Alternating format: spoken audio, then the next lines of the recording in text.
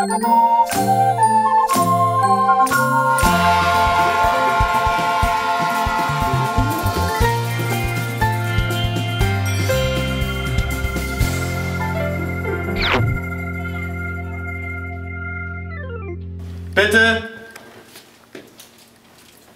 Moin. Wie ist das hier nicht die Frauenarztpraxis von Maya? Bin ich in der Mitte Ja. und halt das und mache mal so links, rechts, links, rechts. Genau, äh, wir, denkt dran. Ah, wie schön. Denkt dran. Die Flosse da weg, ey. Ich, krieg nicht. ich muss da lachen. Also erstmal war die Herausforderung total, dass wir alles auf Taimo Mokhtari geschrieben hatten. Das ist der, der den Ex spielt in den Folgen davor von der Maya. Und leider, leider, leider konnte er an dem Drehtag nicht. Und dann haben wir das Skript ziemlich abgeändert und Eigentlich war der Gag mit, der, mit dem Schokoriegel darauf bezogen, dass er nun in der vorigen Folge äh, äh, Schokolade gegessen hat oder so, ja, wenn man das mal so sagen kann. Der Schokoriegel ist drin geblieben. Die waren daher auch ziemlich matschig, deswegen haben wir die da immer im Kühlschrank gehabt. Also ein, immer ein Austausch. Ich rannte immer nur vom Kühlschrank hin und her. Es war sehr warm während des Drehs und diese Hände und alles, das war daher ein, ein Gematsche. Wo könnt ihr Schokoriegel während der Arbeit essen? Im Endeffekt waren es, nur mal so als kleine Seiteninformation, acht Schokoriegel, die alle jetzt angegessen in dieser Praxis wahrscheinlich noch rum vegetieren und äh, Das ist nicht dein Ernst. Okay, Herr Buchner, ähm, wir haben in Ihrem Kühlschrank noch äh, die Snickers äh, gebunkert und äh, vielleicht mögen Sie die noch essen? Am besten von dem mit? Gut, da musst du auch okay. Das war eine Herausforderung. Wir hatten äh, so viele Leute am Set wie noch nie. Ähm, ganz viele Schauspieler, verschiedene Erzählebenen. Äh, da sind Leute in der Praxis rumgelaufen und haben äh, sich verarscht. Währenddessen wurde aber parallel dazu äh, da ein Spiel gespielt. Viele neue Leute auch. Also es war wirklich eine Herausforderung, so viele Leute auf einmal zu koordini- äh, koordinieren. Gut, dann wollen wir einmal. Und wir steigen ein mit, wie sie rauskommt, genau.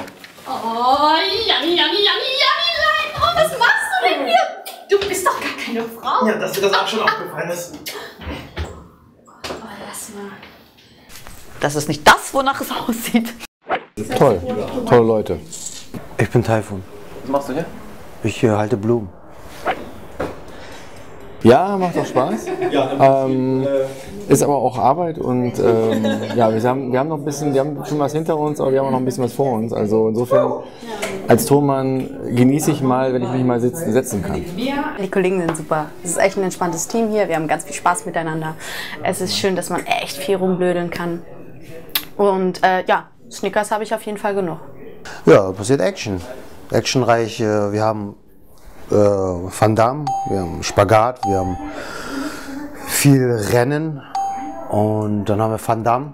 Dann laufen wir viel, dann ah, laufen wir im Kreis und ja, wird ein, ein zwei Mal werden wird Van Damme erwähnt und wir haben Spagat und rennen halt eine ganze Menge. Und das ist schon krass, das ist schon eine sehr abwechslungsreiche Action-Szene. Ähm, ja gut, aber was tut man nicht alles für die Kunst? Oh ja. And the Oscar goes to. Maya, bekomme ich ein weiteres Date heute Abend 20.35 Uhr? Ich hole dich hier ab. Nur wenn du jeden Tag dein Sperma spendest. Ähm, meistens äh, senkrecht zum äh, Spendebecher. Nö. Ja, was soll ich spenden? Äh, Ich habe ja nichts zum Spenden. Was soll ich denn spenden? Für die, die es brauchen, die keine Kinder so anderweitig kriegen, finde ich super. Aber äh, das, was hier gerade abgeht, finde ich jetzt persönlich ziemlich hart. Äh, ich denke auf jeden Fall, dass es, ähm, äh, also meine wären natürlich gut, aber ich glaube, die wären auch teuer. Ernsthaft. Weil es, äh, also von der Qualität her sehr, sehr hochwertig. Habe ich noch nie gemacht. Käme es in Frage? Ja. Warum nicht? Also, ich glaube, man kann auch mit Geld verdienen. Ne? Naja, und in der heutigen Zeit, wo Frauen immer später schwanger werden, ist es, finde ich, eine gute Möglichkeit. Man kann sich ja auch heutzutage die Eier einfrieren lassen und Was? da macht es ja Sinn, dann Wer macht denn sowas? Samenspender zu haben. Ja, man kann sich die auf Eis legen lassen. Also das mache ich immer, Also wenn wenn sie dick jetzt halt sind, aber ich meine jetzt für längere Zeit, oder wie? Ja, ja. Ach so. Da zahlst du monatlich eine Gebühr. Okay. Ja. Kennst du da jemanden? Ernsthaft? Nicht direkt. Aha. Okay, ich google das mal. Mach das. Bock da hinten, deine Eier weißt zu legen. Was? Wieso? Wieso ich? Ich bin hier nur abgestellt. Ab, abgelegt. Abgestellt. Abgelegt. Auf Abruf. Nochmal so ganz als Antwort. Soll ich was zu meinen Eiern erzählen? Erzähl mal, ich glaube. Das stand aber nicht im Vertrag. Hm? Ich sollte mich jetzt, ich, ich äußere mich gerne zu meinen Eiern, dann möchte ich aber erstmal eine Vertragserneuerung. Du hast einen Vertrag? Ja. Was? Das ist was ganz Neues. Mindestlohn. Ihr seid verarscht worden. Kim? Kim! Frau Dr. Kind! Ich finde, es gibt durchaus ähm, plausiblere und auch anerkanntere Arten und Weisen, äh, an ein Date heranzukommen. Ich persönlich tendiere zum Beispiel dazu, eher im Supermarkt, Supermarkt unterwegs zu sein. Denn in Supermärkten, wenn man allein unterwegs ist, an den sogenannten Single Spots, der Tiefkühlpizza, den Fischstäbchen, trifft man sogenannte Supermarkt-Dates. Deswegen heißt es auch Make My Date. Und Bevor ich hier weiterrede, möchte ich aber nur sagen, dass ich das wirklich sehr doof finde, dass du mich das einfach so fragst. Wurde dir schon mal ähm, wollten schon mal Frauen deinen Samen Teil von dir? Ja.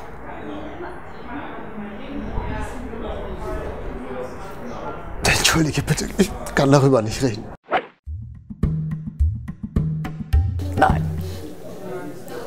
Nein, das wäre ganz schön erbärmlich. Samenraub, da fällt mir nur Boris Becker ein. In der Besenkammer. Meistens maskiert. Ach, zusammen Raub.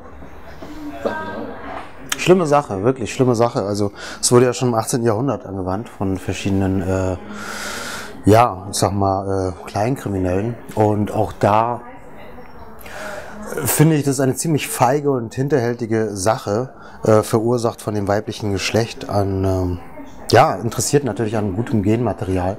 Wobei natürlich das Argument Mittel zum Zweck da schon ein bisschen gilt, weil es natürlich nicht unwichtig ist, dass wir ähm, den Bratzenkindern entgegenwirken, auch irgendwie, äh, oder die Samenräuberinnen in dem Fall. Ähm, jedoch würde ich sagen, dass äh, ja da auch schon eine anti-legitimasiere, legitima, anti, anti, das ist scheiße. Das ist scheiße, Samenraub ist scheiße. Okay, läuft. Und bitte. So, jetzt ist aber Ende Gelände. Maja, man nicht mit einer Lady. Was ist das denn? Du kämpfst ja wieder Pussy. Oder muss ich dich zudrücken? Cut. Körperlich nicht. Nee, ich habe mich noch nie für eine Frau geprügelt. Zumindest. Ich habe mich schon mal indirekt äh, wegen einer Frau geprügelt. Das war aber auch eine Art Bedrohung. Da kam derjenige auch äh, ganz bedrohlich auf mich zu. Und da musste ich mich quasi in Notwehr verteidigen und war auch ganz erstaunt, dass das so gut funktioniert hat. Um das jetzt ohne Details jetzt hier. Also ich habe gewonnen. Ähm, nee, war kurz davor, der Typ hatte Angst. Also ich habe ihn mal rausgezogen, weil er sie zum Wein gebracht hat, meine beste Freundin.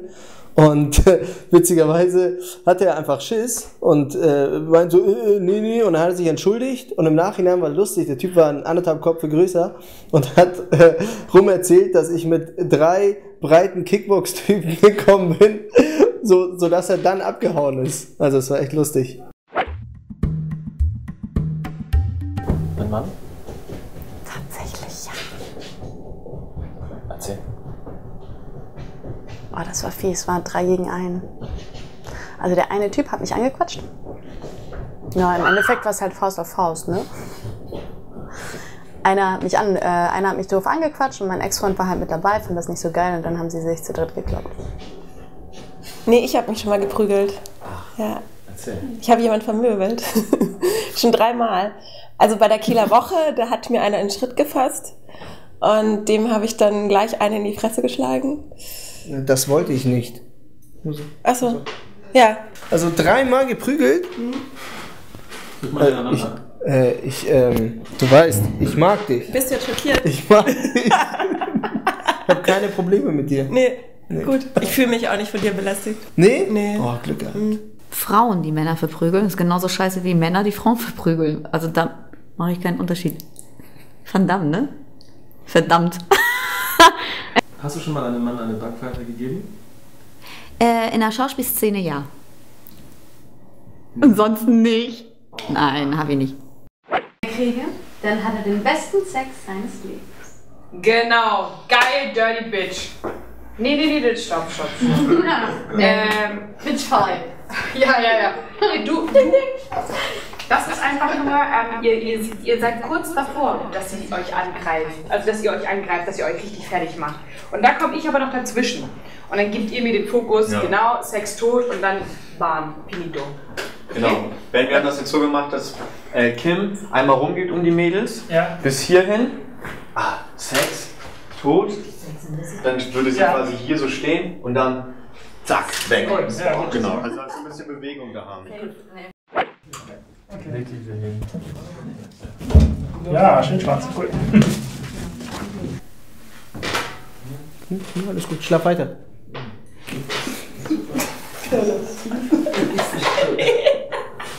Das Witzige. Das, das ist Bratzenkinder. Genau das. Da liegt. Einfach so eine Zahnarztpraxis. Ja, nee, Zahnarzt. Ne? Das ist ein wahrer Patient, der weiß gar nicht, was hier los ist. Der wartet seit Freitag. Er will, er will der erste Montag sein. Muss das leise sein? drüben mal zeigen. Ähm, da drüben ganz kurz. Würde ich gerne mal dahin zeigen. Da hinten, da hinten einmal. Da hinten. Ja, einmal da hinten. Mal zeigen. Oh Mann! Du kannst auch nichts. Und was ist deine Aufgabe hier? Ähm, ja, also ich krieg 8,50 Mindestlohn. Mehr weiß ich nicht. Ich weiß auch nicht, wo ich hier bin. In der Praxis. Arztpraxis. Ja. Warte mal, du legst dich einfach irgendwo hin und hörst auf jemanden? Hast du nicht Angst, dass das hier irgendwie mit Bazillen voll ist oder so? Ich habe doch gesehen, dass du vorher alles abgesprüht hast. Abgespritzt. Das war ich. Ich glaube, es wäre wirklich interessant zu erfahren, wie es zwischen Jan, Maja und Nana weitergeht. Denn da sind ja doch einige Fragen jetzt offen und ein paar Gedanken in Majas Kopf. Cool. Geht los. Wir rocken das. Bleibt gespannt. Abonniert den Kanal. Abonniert den Kanal. Achso, übrigens, abonnieren, den Kanal. Abonnieren, ne? Ist klar.